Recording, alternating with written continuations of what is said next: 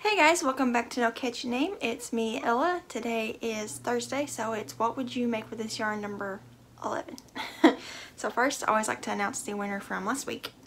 And the yarn that was uh, up for grabs last week is this one. It is a knit crate yarn that I got recently. It's Aldine Wool's Twinkle DK.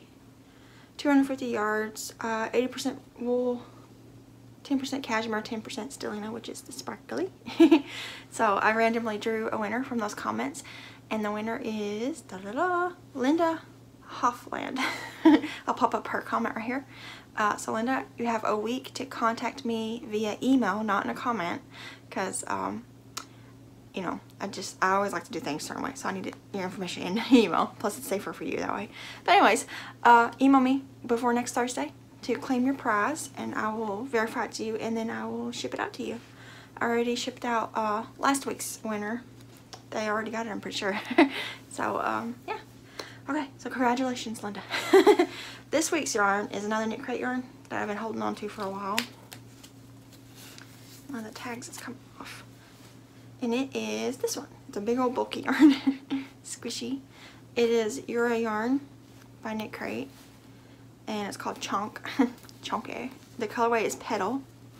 It is 82% merino wool, 18% uh, Peruvian Pima cotton. It's super bulky, 109 yards each, so that's 218 yards together. That one's tag is all messed up. but yeah, so if you would like to try to win this yarn, both of them, they come together. um, leave me a comment down below. Let me know what you would make with this yarn if you want it.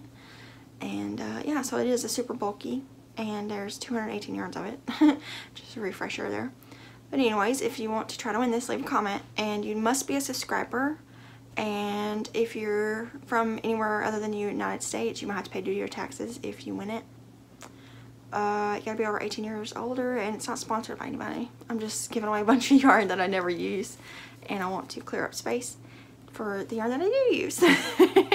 so uh, actually I have a big pile of yarn right here. It's that 64 cent yarn and my sister went to her Walmart and found me 12 more skeins of it. So I got to figure out what to do with 24 skeins of Jumbo Red Heart.